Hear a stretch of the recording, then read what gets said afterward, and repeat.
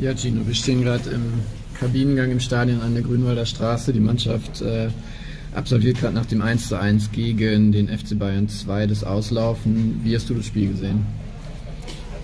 Ja, es war auf jeden Fall ein interessantes Spiel.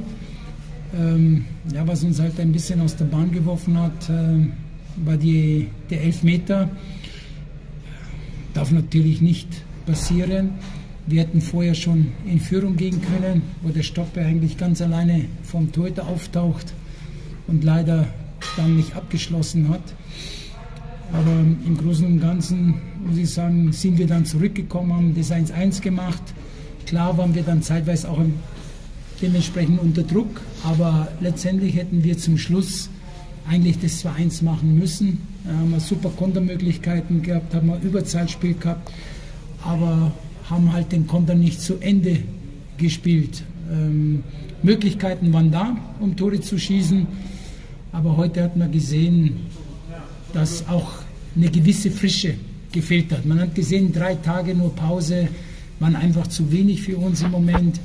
Ähm, diese Frische, diese Aggressivität, was wir jetzt in den letzten Spielen gehabt haben, die war heute noch, noch nicht ganz da, aber die Mannschaft hat sich zurückgekämpft, und äh, hat sich den Punkt sicherlich auch verdient.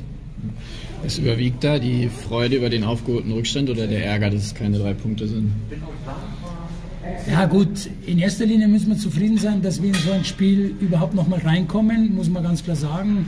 Weil die Bayern haben ja den Ball dann sehr gut laufen haben lassen, waren sehr ruhig am Ball, haben keine unnötigen Ballverluste gehabt und da war es natürlich schwierig, den Ball zu erobern. Daher bin ich schon zufrieden, dass wir dann den Ausgleich gemacht haben. Ja, klar, kann man zum Schluss äh, die drei Punkte noch holen, aber im Großen und Ganzen gesehen muss man schon mit dem Punkt zufrieden sein. Äh, Joshua Bitter hat heute eine gute Viertelstunde wieder gespielt. Ähm, könnte da jetzt im nächsten Spiel gegen Magdeburg auch mehr drin sein?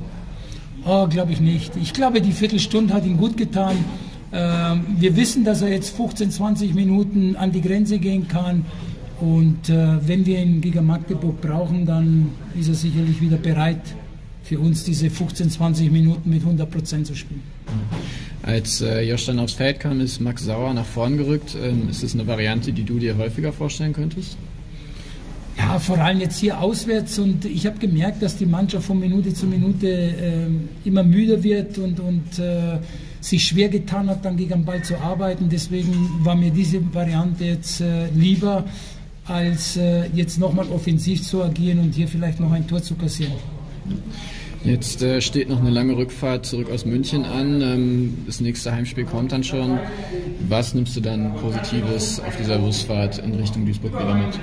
Ja, wie gesagt, positiv nehme ich mit, dass äh, wir zurückgekommen sind nach dem 1-0, dass wir präsent waren, dass wir da waren. Ja, und nicht so wie die Spiele davor wie es am Anfang war, dass wenn wir mal im Rückstand geraten sind, äh, dass wir dann das zweite und das dritte bekommen haben. Also man, man merkt schon, dass die Mannschaft äh, sich ähm, immer weiter festigt. Aber wie gesagt, ähm, die, die Zwischen, äh, na, die, die Dauer von einem Spiel zum anderen war einfach zu kurz. Alles klar, Gino. Vielen lieben Dank.